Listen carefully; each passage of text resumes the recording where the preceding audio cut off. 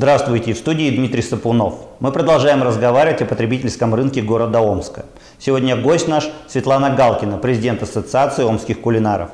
Здравствуйте, Светлана. Добрый вечер. Омская ресторация, Омское сообщество общественного питания насчитывает более тысячи э, предприятий.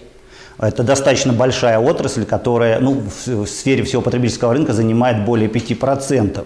И, конечно, хотелось бы поговорить об основных тенденциях развития этой отрасли, узнать, что было, что нас ожидает в 2012 году и что планируется на 2013 год. Действительно, развитие омской кулинар... кулинарии, омской ресторации, оно, в общем-то, имеет те же тенденции, как и общероссийская ресторация.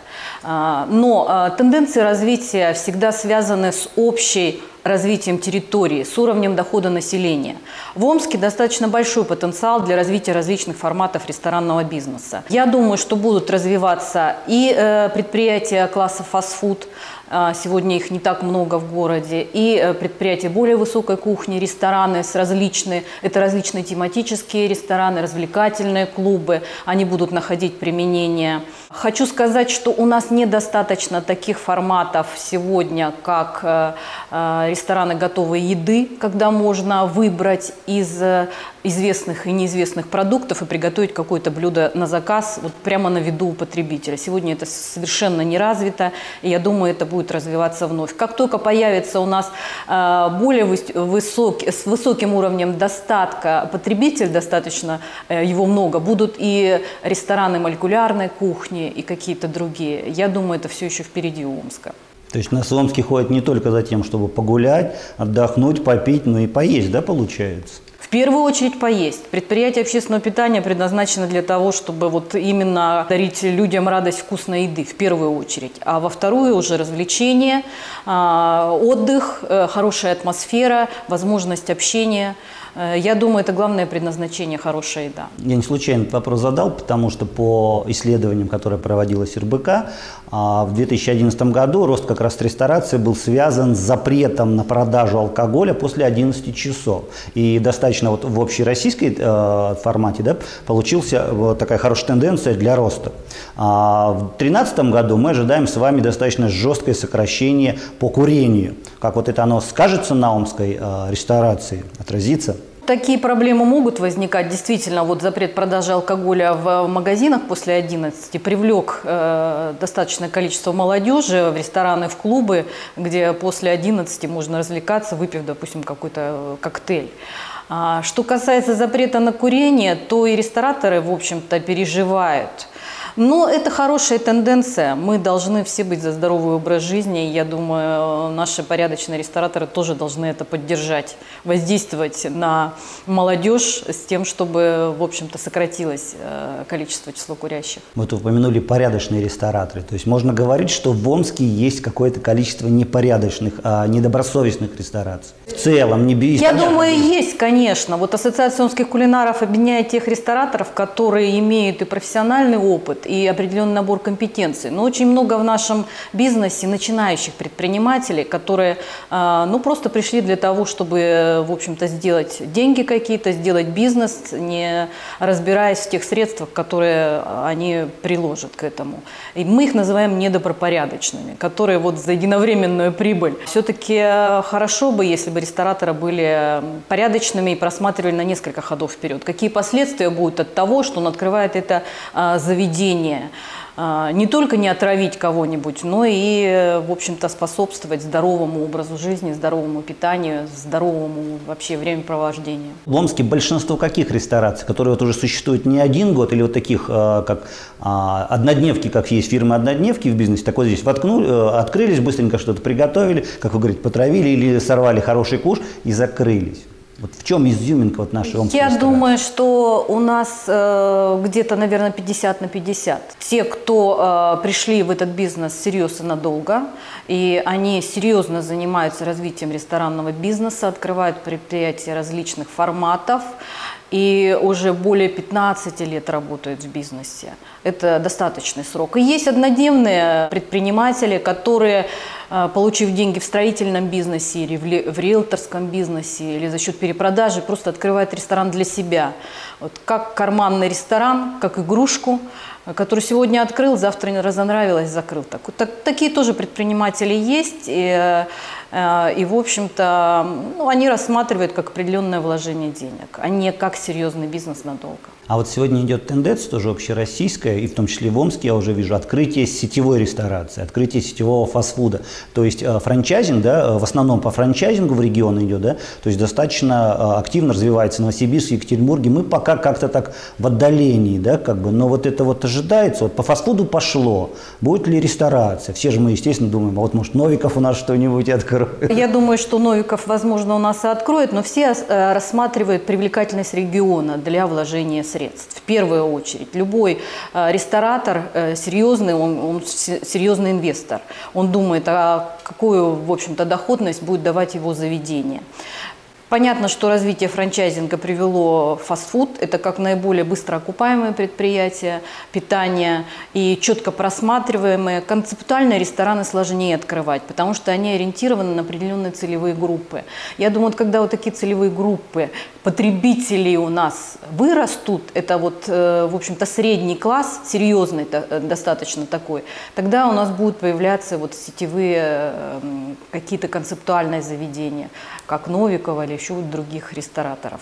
Но, во всяком случае, переговоры такие мы уже вели на уровне федерации, приглашали сюда, и, возможно, вот на одно из мероприятий, которое у нас целевое, годовое, это чемпионат по кулинарии и сервиса, мы пригласим из Федерации рестораторов активных членов, возможно, они откликнутся и обсудим какие-то вот э, э, вопросы создания, может быть, совместных предприятий здесь, интересных таких сетевых форматов ресторанного бизнеса. Получается, что сегодня Омск недостаточно э, финансово привлекателен для развития, вот как мы говорим, концептуальных, потому что там все-таки, наверное, достаточно небольшая группа людей, посещающих, но э, оплачиваешь достаточно большой чек. Наверное, да, средний чек достаточно высок по сравнению со с нашим омским средним чеком. Поэтому у нас вот неохотно пока идут инвесторы. Надеюсь, вот общая тенденция развития региона, она позволит э, как бы повысить доходность э, наших потребителей и привлечь такие рестораны. Да? А средняя окупаемость, э, средняя по отрасли мы, естественно, говорим, окупаемость омского, омского ресторана. Есть какие-то Это цифры? разные совершенно цифры в зависимости от тех вложений, которые ресторатор сделал. Есть э, очень большие затраты на интерьер предприятия, такие, как делает, например, ресторан «Луговская слобода», когда все делается авторская мебель, совершенно очень из ценных пород дерева, с очень дорогой отделкой, тогда, конечно, срок окупаемости больше. И есть фастфуды из простых э, отделочных материалов, скажем, сделана мебель, интерьер, э, четкая, простая схема закупа продуктов. Здесь, конечно, окупаемость быстрее. Ну, в среднем это, наверное, от э, двух лет и более. То есть достаточно это, привлекательным. Это самый простой формат можно купить в короткие сроки, самый простой формат. А, конечно, хорошие рестораны высокой кухни окупаются значительно дольше. У нас вот какие-то показатели насыщенности этой отрасли существуют в городе? Проводились исследования? Вот сейчас мы заказали такие исследования, поскольку вот э, хотим разработать программу совместно с администрацией развития индустрии питания в Омске и Омской области. Mm-hmm для того, чтобы определить вот и индика, э, идентификаторы роста, и целевые показатели. Ну, есть разные оценки по насыщенности сети общественного питания. Вот вы сказали одни показатели, а буквально вот на днях я прочитала маркетинговое исследование одной из э, компаний, где говорится, что у нас показатель на тысячу жителей 0,14. То есть фактически это в 10 раз ниже, чем в Москве, а в Москве один э, ресторан на тысячу жителей. И а если в Париже 5 ресторанов на тысячу, представляете, то есть как он отличается от общеевропейских показателей. А, то есть у нас еще есть э, большой потенциал для развития э, ресторанного бизнеса. Совсем нет ресторанных двориков. Вот буквально недавно я была в Астане, там просто улицы ресторанов улицы, где разных форматов предприятия один на одном а, размещены. То есть это и ресторан казахской кухни, ресторан узбекской кухни, ресторан европейской кухни. То есть фактически вот и можно зайти в любое. У нас э, очень рассредоточены предприятия, либо скучены вообще в одном месте, как Маркс 5А, да? а, а, но а, в других районах совсем не развиты. Поэтому здесь есть куда... А ресторанные дворики, они в формате стрит-ритейла, то есть где-то э, на улице сформированы, как мы говорим, Маркс 5, или в сущности в торговых комплексах? В торговых комплексах, как правило, это фастфуд, а вот э, для привлечения туристов и вообще для привлечения вот такого, как мы говорим, потребителя со средним достатком, нужно, конечно, такой уличный формат, отдельный вход э, в заведение со всеми э, комнатами для э, приема гостей, вестибюлями и так далее, гардеробными комнатами, э, вот, чтобы был полный формат ресторанный. Таких нет. А жалуются ли омские рестораторы сегодня на своего потребителя? Вот, там ходит мало, платит мало. Или вот как сегодня бизнес ведут томские ресторации? Сложно, комфортно, достаточно? По-разному ведут бизнес, кто-то жалуется, но опять-таки я говорю, в условиях конкуренции каждый предприниматель должен стремиться удовлетворять не только потребности, но и ожидания потребителя. Да? То есть он должен любить своего клиента, он должен понимать его запросы, он должен с ним сотрудничать.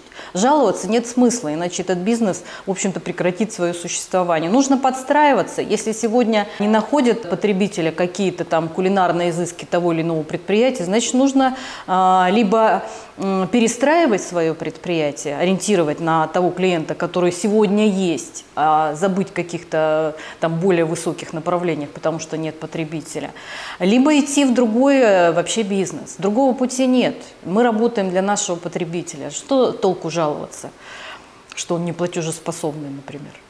Мы эту ситуацию изменить не можем. Мы должны в этом бизнесе работать и подстраиваться под э, его потребности. Клиент всегда прав, это для, ресторан, э, для омской ресторации. Конечно, конфли... бывают разные потребители, бывают очень конфликтные. Их нужно, ну, с ними нужно работать до входа в ресторан, скажем так. Поэтому и уровень подготовки персонала, в том числе э, обслуживающий, должен быть очень высоким. И еще очень важно на входе клиенту объяснить э, условия оказания услуг в данном предприятии. Ведь на сегодня существуют стандарты определенные и правила оказания услуг, где прописано, что можно, как блюдо должно быть приготовлено, какой выход, какая цена. Если потребитель это заранее знает, он уже не пойдет в это предприятие, если его карман не позволяет это ему сделать. Да? Или э, он просто не хочет такое, э, такое обслуживание получать. А если вы заходите в ресторан и видите, что вам предлагается блюдо по одной цене, но оно вас разочаровало по составу компонентов, вообще по способу приготовления, и вас об этом не предупредили, возникает как раз ситуация такая неудовольствия, неудовлетворения клиентов. И возникает конфликт. Вот тут клиент прав или не прав? Как вы думаете? Наверное, прав. Наверное, прав. А не прав тогда предприниматель, потому что он не рассказал, не довел достаточную информацию для клиента для того, чтобы не было вот этого вот э, жалоб, конфликта какого-то. Поэтому я считаю, что любой предприниматель должен быть настроен на удовлетворение потребностей клиента, должен выяснять их и должен создавать условия для того, чтобы клиент был удовлетворен. Хорошо, то есть мы вот так вот коснулись такой вещи очень э, другательского слова для города Омск, как маркетинг, да, получается. Вот насколько э, омские кулинары, рестораторы э, работают в маркетинговом э, стратегии, используют маркетинговый инструмент? Я думаю, очень слабо используют. Да, вот По наитию, потому что серьезных маркетинговых исследований, сколько я общаюсь с рестораторами, э, практически никто не заказывает. То есть определение целевых групп и своего потребителя все так по наитию, учитывая свой опыт, осуществляется, потому что все экономят. Только сетевые рестораторы, только федеральные сети, в общем-то, основывают свой бизнес на серьезных маркетинговых исследованиях, на оценке потоков потребителей, на целевых группах, вот там это есть. Наши предприниматели, как вот, ну, те, которые хотят вот сегодня просто вложить деньги в бизнес, в большинстве своем этого не делают. Хотя это делать нужно, безусловно. И в вопросах продвижения тоже, в общем-то, есть пробелы. Потому что э, слабая реклама, слабое вот, э, продвижение тех или иных услуг, выявление особенностей, как вы сказали, Это действительно есть здесь над чем работать рестораторами. Кстати, мы одной из своих задач в ассоциации ставим э, вот, создание обучающих программ для менеджеров в том числе э, вот, в области менеджмента. Это и маркетинговые технологии, это пиар-технологии, чтобы вот, возможность была продвижения, информирования об услугах более серьезная, более четкая. А где получают образование вот люди, которые потом приходят в омскую ресторацию? У нас есть какие-то образовательные учреждения, которые вот достаточно качественно готовят? У нас э, в Омске действительно есть образовательные учреждения. Я назову три основных. Это колледж торговли, экономики и сервиса, торгово-экономический колледж и Омский экономический институт. Именно здесь готовят э, кадры для сферы индустрии питания, поваров, кондитеров э, и менеджеров, инженеров-технологов высшей квалификации – это хорошее учебное заведение. Ассоциация, кстати, принимает участие в их работе, сотрудничает с ними через экспертизу образовательных программ, через участие в совместных мероприятиях, будь то чемпионат вот по кулинарии и сервису, где а, преподаватели участвуют и э, как э, менеджеры команд участников, и как члены жюри. А, Но, ну, в общем-то, программа подготовки. А, вообще проблема подготовки кадров для сферы индустрии питания, она все же остается очень серьезной. Поэтому в этом году Ассоциация омских кулинаров приняла решение о создании Центра профессиональных компетенций рынка Хорика. То есть это новый такой э, центр, который будет оказывать образовательные услуги дополнительные для рестораторов, кондитеров и кулинаров по новым технологиям, по тем модулям, а, которые нужны для работодателей. То есть в основу этих программ будут положены профессиональные стандарты работодателей. Что же хочет сегодня работодатель увидеть от того выпускника, от того э, повара, который к нему приходит на работу. Причем с последующей сертификацией такого работника. Здесь мы предполагаем, что хороший повар, он так же как врач, может и навредить здоровью вернее, не хороший повар, да, хороший может вылечить. Поэтому здесь э, будет иметь выпускник сертификат, в котором будет написано, что это повар высшего разряда по таким-то темам. Блюдо из мяса, блюдо из рыбы, э, там, э, работает с морепродуктами и так далее. Этого сертификата можно лишить, в отличие от диплома, которого лишить невозможно, да, за профнепригодность. И мы надеемся, что это позволит повысить э, качество подготовки персонала, и, ну и в целом, конечно, качество реализуемых блюд и изделий в предприятиях общественного питания. А насколько администрация а, города, области а, способствует развитию этой, этой сферы общественного питания города Омска? Формально ли они способствуют, или все-таки мы видим какие-то вот хорошие такие вложения? Мы сотрудничаем и с городскими властями, и с областными властями а, вот, в вопросах а, функционирования нашего общественного объединения, скажем так, в целях развития сферы индустрии питания.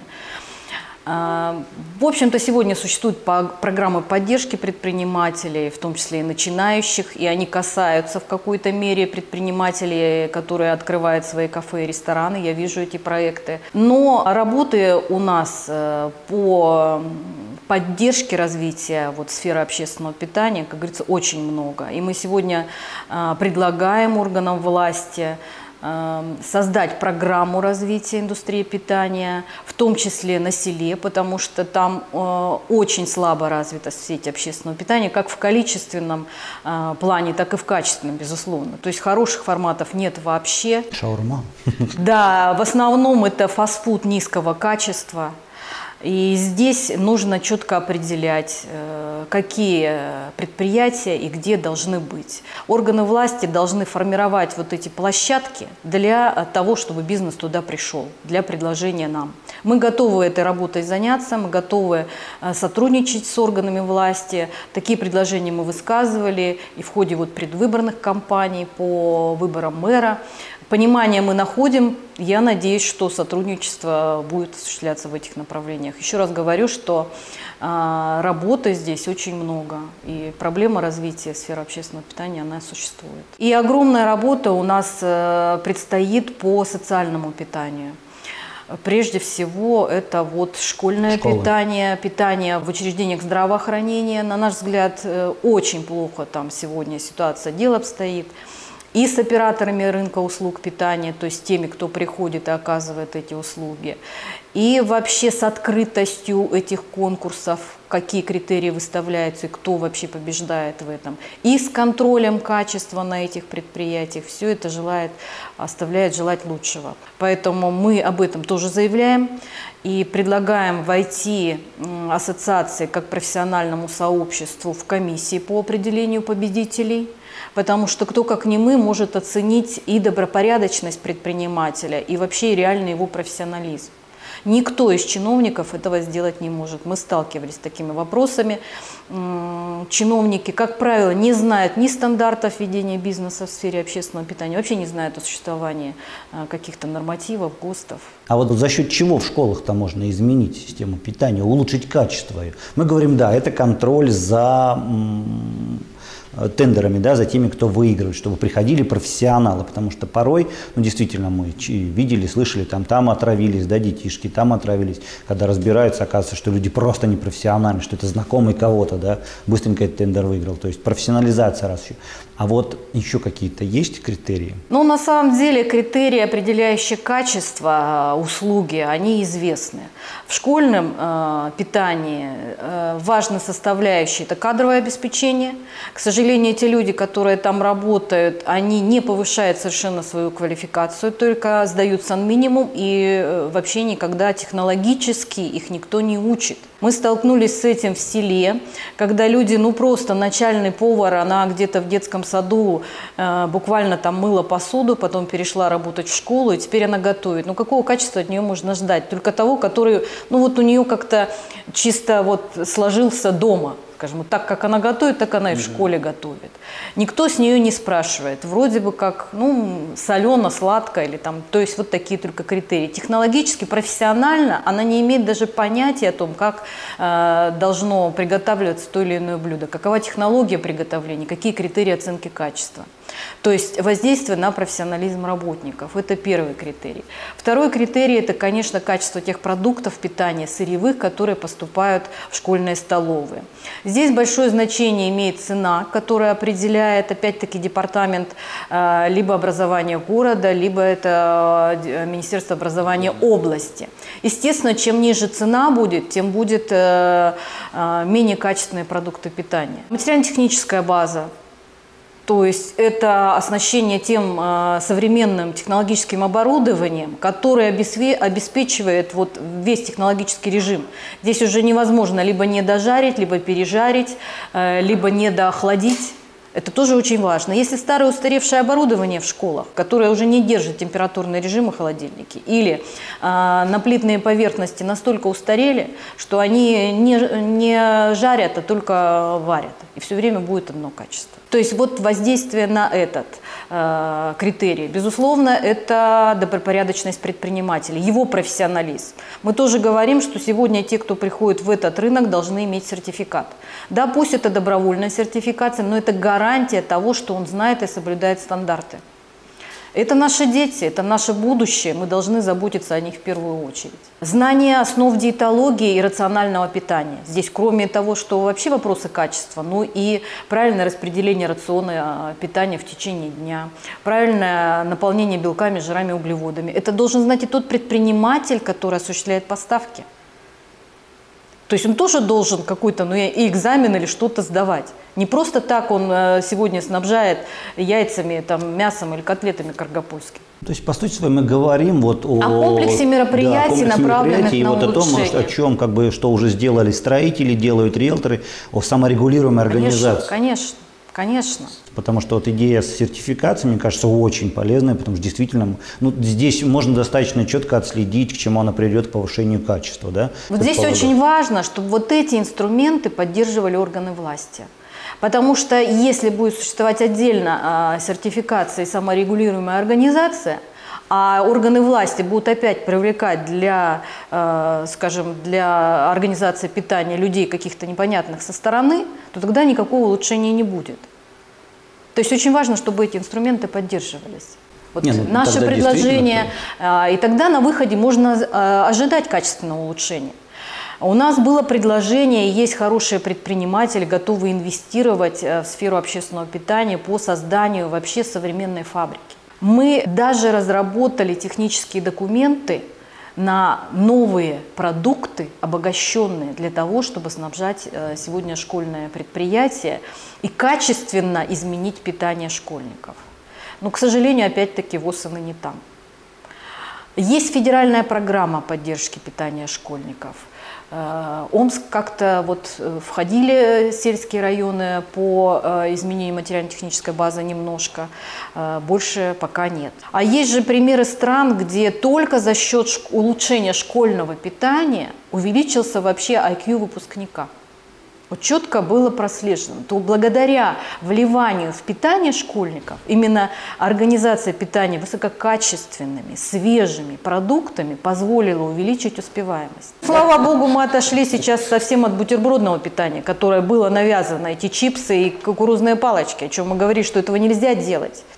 Слава богу, сейчас вопрос организации горячего питания, в общем-то, он э, понимается э, чиновниками и стараются они это сделать. Но работы еще очень много. То есть вот идея вот создания такой фабрики или завода по производству полуфабрикатов для того, чтобы уже просто разогревать, а, не приготавливать в школьных кухнях да, и в больницах, а просто разогрев, да, ну, да, то, разогрев, то есть это шоковое охлаждение, при котором никакого ухудшения качества не происходит.